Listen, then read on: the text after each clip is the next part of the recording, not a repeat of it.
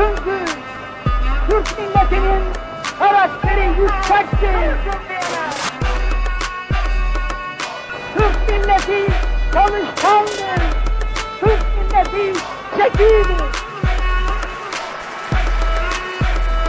Çünkü Türk milleti milli birlikte beraberlikte